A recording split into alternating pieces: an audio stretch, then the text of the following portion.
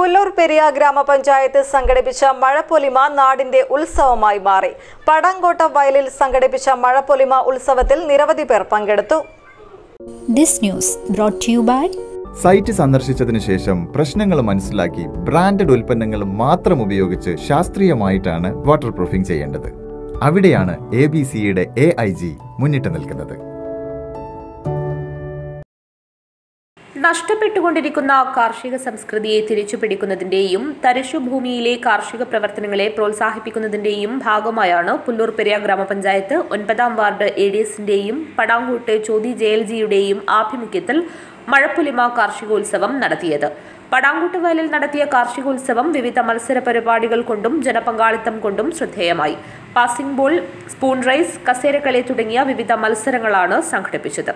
വികസനകാര്യ standing committee chairman Chandran Karicheri അധ്യക്ഷത വഹിച്ചു. തലമുറയെ കാർഷിക വൃത്തിയിലേക്ക് കൈപിടിച്ചു കൊണ്ടുവരുന്നതിന് വേണ്ടിയാണ് എ ഡി എസിന്റെ ആഭിമുഖ്യത്തിൽ ഇത്തരത്തിലുള്ള മഴപ്പൊലിമ എന്നുള്ള രീതിയിലുള്ള ഒരു പരിപാടി നടത്തുന്നത്. പുല്ലൂർപുര പഞ്ചായത്തിന്റെ പതിനേഴ് വാർഡുകളിലും പല ദിവസങ്ങളിലായി മഴപ്പൊലിമ പരിപാടി നടന്നുകൊണ്ടിരിക്കുകയാണ്. പുല്ലൂർപുര ഗ്രാമപഞ്ചായത്ത് ഒമ്പതാം വാർഡ് കൊടവലത്തിന്റെ എ ഡി എസിന്റെ ആഭിമുഖ്യത്തിൽ ചോതി ജെ എൽ ജിയുടെയും നേതൃത്വത്തിലാണ് ഈ മഴക്കുലിമ ഇവിടെ വെച്ച് സംഘടിപ്പിച്ചിട്ടുള്ളത്.